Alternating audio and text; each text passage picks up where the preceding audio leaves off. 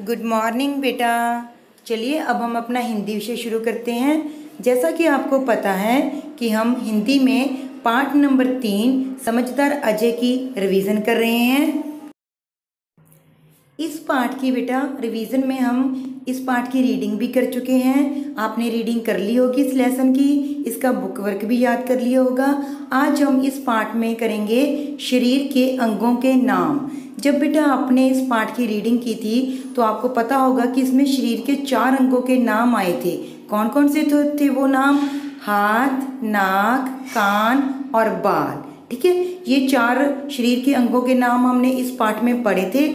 आज हम इन्हीं शरीर के अंगों के नामों को अपनी हिंदी की नोटबुक के ऊपर लिखेंगे और इन चारों के अलावा कुछ और भी शरीर के अंगों के नाम हम लिखेंगे। ओके? तो चलिए शुरू करते हैं।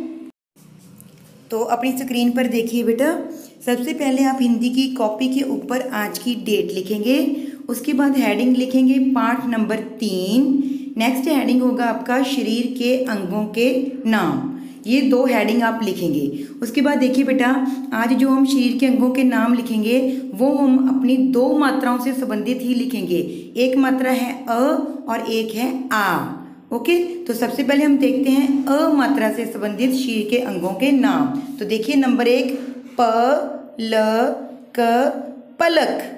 पलक क्या होती है बेटा? जो हमारी आँख के ऊपर होती है, उसको हम बोलते हैं पलक। तो पहला नाम क्या हो गया? पलक। दूसरा देखिए, न, य, न, नयन। नयन कहते हैं बेटा आँख को।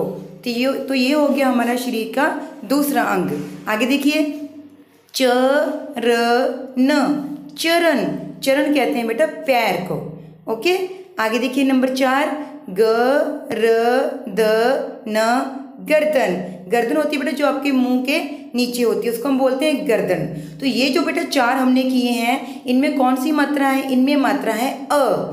जो अ की मात्रा होती है, उसका कोई भी चिन्ह नहीं होता, कोई भी साइन नहीं होता बेटा। ठीक है? तो जैसे कि आप देख सकते हैं कि इन शब्दों में कोई किसी भी मात्रा का कोई चिन्ह नहीं है। तो ये जो शब्द हैं, वो किस मात्रा से संबंधित हैं? ये हैं अ मात्रा से संबंधित।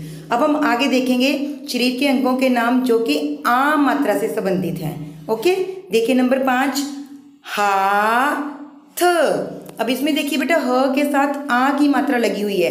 तो आपको पता है कि आ की मात्रा की होती है, जब अक्षर के साथ जुड़ जाती है तो साथ में उसकी साउंड भी जुड़ जाती है।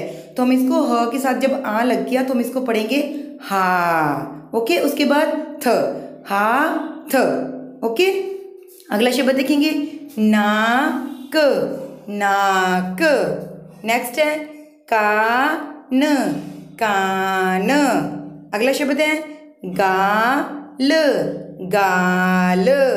नेक्स्ट है बाल। बाल। उसके बाद लास्ट वन है माथा। माथा। ओके तो ये थे बेटा नंबर पाँच से लेकर नंबर दस तक। ये जो शरीर के अंगों के नाम हैं, ये हैं आपकी आ मात्रा से संबंधित। ओके? तो आज बेटा आपका काम है कि आप ये दस शरीर के अंगों के नाम सुंदर सुंदर राइटिंग में अपनी हिंदी की नोटबुक के ऊपर लिखेंगे और फिर आपने इन दसों नामों को क्या करना आपने? याद करना है और फिर किसी रफ कॉपी के ऊपर आपने इनको लिख कर भी देखना है, इनका अभ्यास करना है ताकि आपको ये लिखने आ जाए। ओके बेटा? तो आज का आपका इतना ही काम है। धन्यवाद।